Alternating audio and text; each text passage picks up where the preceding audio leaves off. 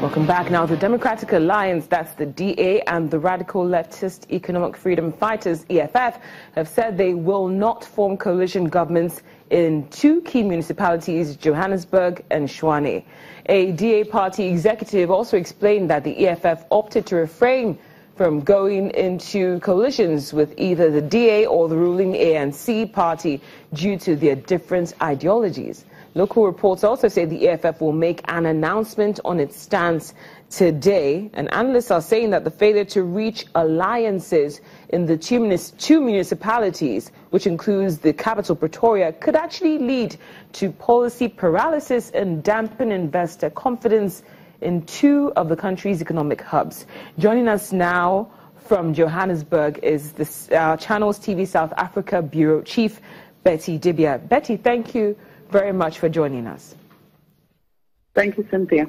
Now, Betty, has the EFF actually made any announcement as regards the coalition that was anticipated? Yes, uh, yes. Earlier today, the, the EFF announced that there will be no coalition mm-hmm. uh, because um, it, they didn't find common ground with the DA, uh, which was the main party, as, as the DA as well as, as, as the EFF. But they will vote for the DA on issue by issue basis. So probably with the percentage that they have in a place like Tshwane, 11.63%, adding that to the DA, if, they vote for the DA, of course, you have the DA um, uh, leading or, or, then electing a mayor. We, we understand after that announcement, we, we, we the, the Tshwane government now uh, announced that there will be on Friday. Friday, we expect them to elect a speaker and then elect a mayor in that council. So there will be no coalition, but that they will support different parties depending on the place. In okay. the case of KwaZulu Natal, they will be supporting the Inkatha Freedom Party, that's the IFP. But okay. for, for Gauteng, we have three metros, big municipalities they will be supporting the DA, but there is no coalition. Well, Betty, analysts are predicting that a failure to reach uh, um, um, um, alliances in the two municipalities, which also includes Pretoria, could actually lead to policy paralysis and also dampen investor confidence in the in the country's economic well, hubs. Uh, Do you perceive that, that it will get to that point?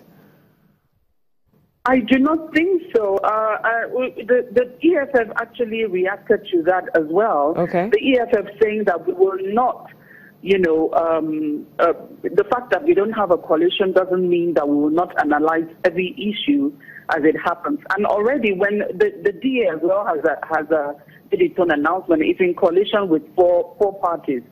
COPE, which is Congress of the People, the United Democratic um, Movement, the African Christian uh, Party, as well as the Freedom Plus, uh, Freedom Front Plus.